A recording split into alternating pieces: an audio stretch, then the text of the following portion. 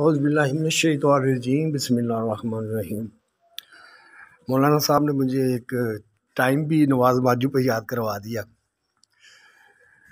कि मेरी बड़ी नीयत थी रोज़े रखने की ना।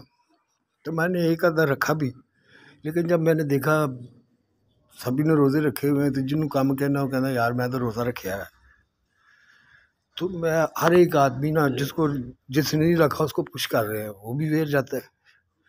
तो फिर मैंने रोज़े नहीं रखे, क्योंकि वहाँ पे मजदूर आते हैं, उन्होंने रोटी खानी है, मुस्लिम भी हैं, गैर मुस्लिम भी हैं। तो फिर मैंने ज़्यादा खुद किया चलो यार, उन लोगों ने रोज़ा रखा हुआ है तो मैं कर लेता हूँ। तो फिर मैंने इस सासरे में भी छोड़े और पानी, वहाँ पे गर्मी होती थी, पानी भी पीते थे। और ये रोज़े जो हैं, ये रहमत है आप लोगों के लिए, ये उन लोगों के लिए है, जो बहुत ज़्यादा अनडिसिप्लिन हो जाते हैं खाने पीने में। या जो चीज़ उनकी फेवरेट होती है, क्योंकि अल्लाह को पता है कि ये अपनी मर्ज़ी करेगा।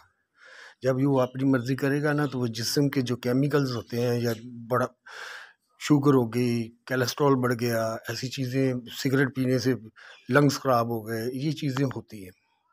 तो फिर साल में एक महीना होता है, जिसमें हम अपने जिसम को पाक कर सकते हैं और रूह को भी पाक कर सकते हैं। ये है।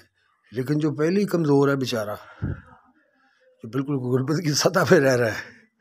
उसको वैसे रोज़ा रखने की ज़रूरत नहीं है। रख ले तो कोई बात नहीं, लेकिन उसको रोज़ा रख के आप सबसे ज़्यादा काम कराएँ बगैर खुराक के। ये तो है जो ओवर फ़ूड ही है उनके लिए। बाकी अल्लाह रहम करने वाला है।